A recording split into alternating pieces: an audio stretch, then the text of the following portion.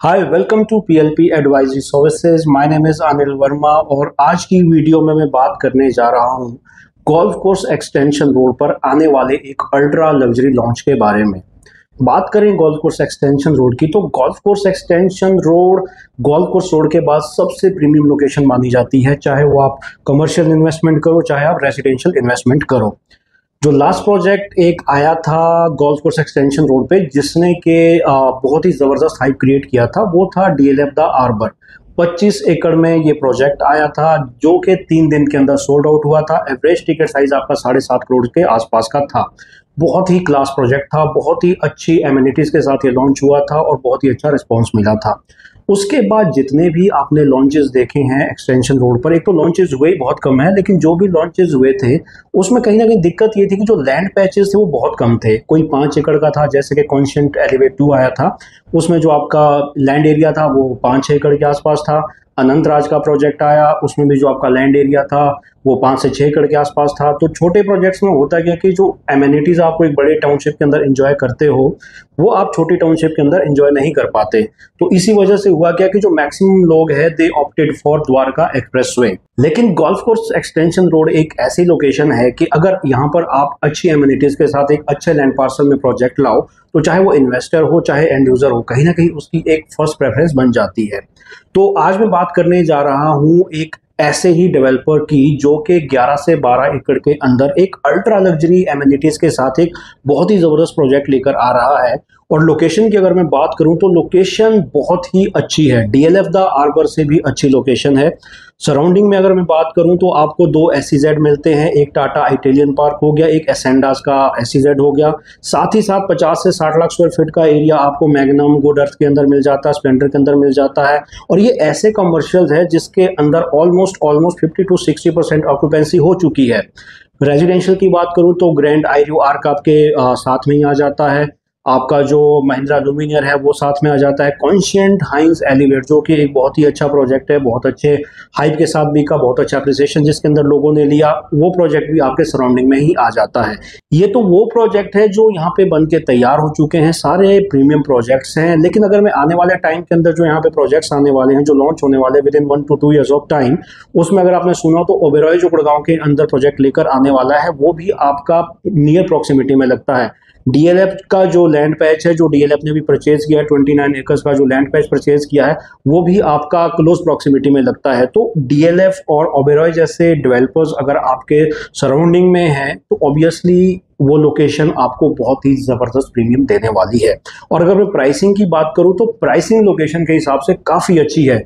Better than Dwarka expressway आपको pricing यहाँ पे मिल जाती है। गोल्फ कोस्ट एक्सटेंशन रोड जैसी लोकेशन पर एक अल्ट्रा लग्जरी एम्यूनिटीज के साथ लॉन्च होने वाला प्रोजेक्ट और उसका प्राइसिंग है आपका द्वारका एक्सप्रेसवे से भी कम तो डेफिनेटली एक बहुत ही अच्छी इन्वेस्टमेंट ऑप्शन है। बात करते हैं प्रोजेक्ट की तो 11 से 12 एकड़ का ये प्रोजेक्ट साइट है। पाँच से छः इसमें टावर्स रहेंगे।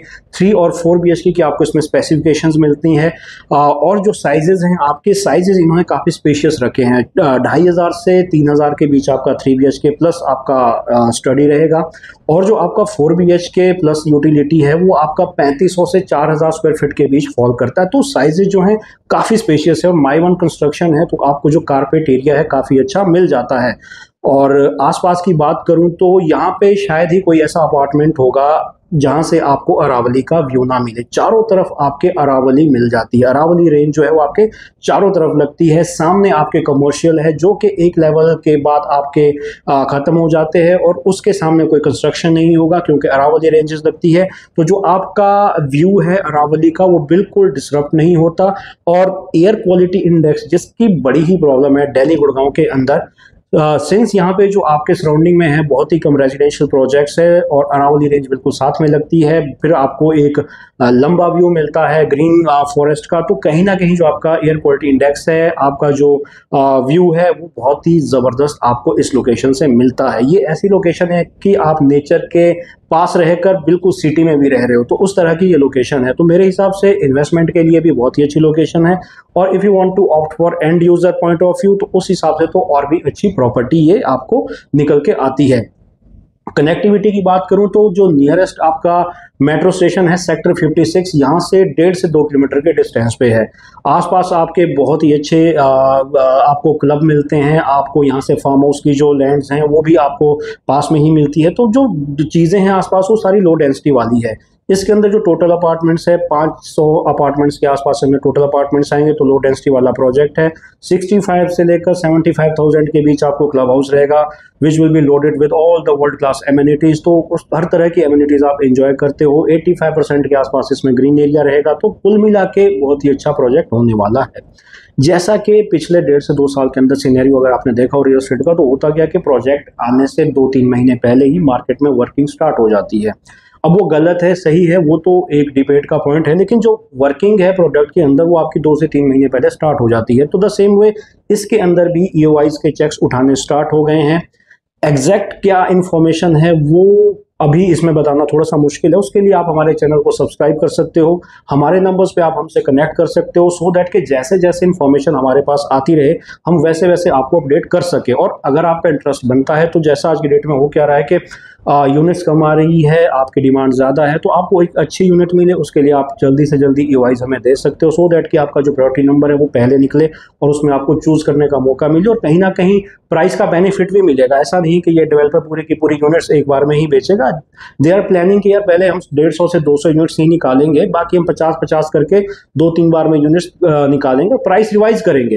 तो कहीं ना कहीं आपके पास अगर पहली बार में आप, पहली प्रायोरिटी लिस्ट में आते हो तो आपके पास फ़ायदा है, अच्छे प्राइस में एंटर करने का अच्छी यूनिट को ग्रैब करने। तो अगर आप इंटरेस्टेड है इस लोकेशन पर इन्वेस्टमेंट करने में या घर खरीदने में तो आप हमें कॉल कर सकते हैं on the numbers which are mention on this YouTube video screen so it was all about upcoming luxury project on golf course extension road of Gurgaon इसके अलावा भी बहुत से और लॉन्चेज आने वाले हैं एक्सटेंशन रोड के ऊपर भी द्वारका एक्सप्रेस के ऊपर भी। तो उससे रिलेटेड uh, इन्फॉर्मेशन के लिए आप हमें कॉल ज़रूर करें। So it was all about this project thank you very much for your time